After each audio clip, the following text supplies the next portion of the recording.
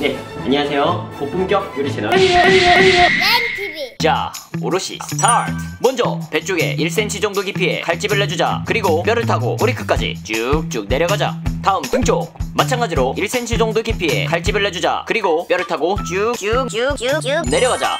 그리고 꼬리 쪽에 칼로 자르고 꼬리를 들며 칼로 잘라주자. 그 다음에 페이퍼 타올로 꼬리 쪽을 잡고 칼로 꼬리뼈를 고정하자. 그 다음 꼬리를 잡고 헛, 둘, 합! 이렇게 순간적인 스피드로 떼어내면 된다. 이건 숭어살이 탄탄해서 가능한 건데 여기서 포인트는 빠르게이다. 그 다음 뒤집고 숭어에 대해 조금 알아보자. 숭어는 12월에서 4월까지 즉 겨울에서 봄이 제철이다. 동해안함에서 주로 어획되며 지방 방언으로는 개숭어라고 불리운다. 서울 노량진 시장에서도 숭어를 개숭어라고 부르고 있다. 보리가 익어가는 계절인 4월에서 6월달에 잡히는 숭어는 보리숭어라고 말한다. 해마다 봄이 오면 먼 바다에서 산란을 마친 숭어는 연안으로 들어오게 된다. 그리고 많은 개체수가 전라남도의 진도대교 울돌목을 통과하는데 이곳의 빠른 조류로 인해서 울돌목의 보리숭어는 식감이 탄탄하고 만난다고 한다. 자, 이제 갈비뼈를 제거해보자. 칼을 이렇게 넣고 쓱 하고 내리면서 갈비뼈를 제거해주자. 여기서 갈비뼈에 최대한 살을 붙이지 않게끔 노력해보자. 그리고 요리요리 잘라주고 나머지 붙어있는 복막도 제거해주자. 그리고 반대편도 똑같이 해주고 뒤처리도 깔끔하게 잘라주면 된다. 그 다음 치아이에 박힌 가시를 제거할 것인데 이렇게 전체적으로 박혀있는 것이 아니라 이 앞쪽 딱 요 정도만 뼈가 박혀있다. 그럼 뼈를 제거해보자. 뼈 제거 방법은 세 가지 방법이 있다. 첫 번째 스킬 집게 뽑기.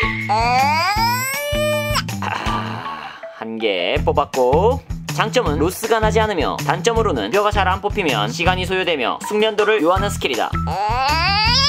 3개. 보통 가시가 3개에서 5개 정도 박혀있는데 생선마다 다르다. 오늘 건 3개네. 개꿀 자 두 번째 스킬. V자 커팅. 숭어 앞쪽에 가시 전체를 날려주는 기술로 장점은 방법이 쉽고 빠르게 뼈를 제거할 수 있으며 단점으로는 저 V자 모양만큼 로스가 발생한다. 그 다음 세 번째 스킬. 일자 커팅. 일반적인 생선 오로시에 가장 많이 이용되는 방법이며 숭어 같은 경우에는 저 앞쪽에 가시만 저런 식으로 잘라주면 된다. 그리고 옆쪽을 보자. 치아이가 보이긴 보이지만 아주 얇게 들어있어서 먹는데 큰 이물감은 없다. 하지만 저런 작은 이물감조차도 싫다고 한다면 자르든지 말든지 마음대로 하세요 그리고 껍질을 벗겨보자.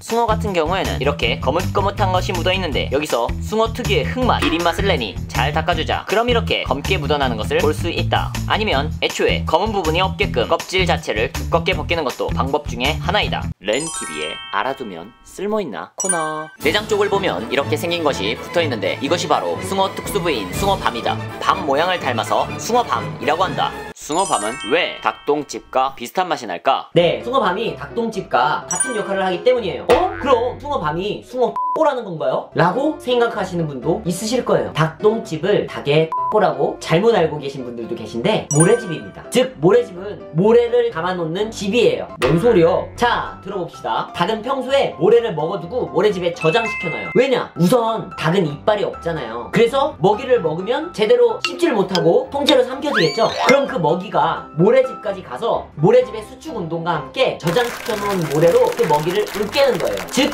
모래가 이빨을 대신하는 거예요. 내장형 이빨인 거죠. 그럼 닭똥집은 그렇다 치고 숭어밤은요 닭은 모래를 먹지만 숭어는 흙 속의 먹이를 흙과 함께 먹어서 숭어밤에 저장시켜서 흙으로 먹이를 으깨는 거죠 즉 숭어밤은 닭똥집과 같은 역할을 하는 숭어 모래집인 거죠 어? 아닌데 숭어 밤은 숭어 위인데? 라고 생각하시는 분도 있으실 거예요 근데 여러분 닭똥집도 닭의 위입니다 닭의 위는 위액을 분출하는 선위와 먹이를 분사하는 근위로 이루어져 있어요 근위는 많이 들어보셨죠 닭똥집을 모래집 말고도 근위라고도 부르는데요. 근위의 한자를 보면 근육으로 이루어진 위라고 생각하면 되겠네요. 즉 근위가 모래집입니다. 여튼 숭어가 그렇게 흙을 먹어대니까 숭어 살에도 특유의 흙 냄새가 나요. 그래서 서식지가 흙이 좋지 않은 환경이면 더 냄새가 난다고 합니다. 따라서 서식 환경에 따라 맛 차이가 많이 난다고 합니다. 오늘 영상은 여기까지고요. 그럼 다음에 봐요. 안녕. 영상이 좋았다면 좋아요, 매달 이와 같은 영상을 보고 싶은 분들은 구독,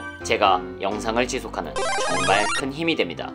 요거 요거 눌러봐요. 끝까지 보신 당신 정말 최고. 요거 요거 또 눌러봐요. 그 감사. 나도 나도 하고 싶어. 요거 요거 눌러봐요. 끝까지. 이건 되게 어려워. 요거 요거 눌러봐요. 끝까지 보신 당신 정말 최고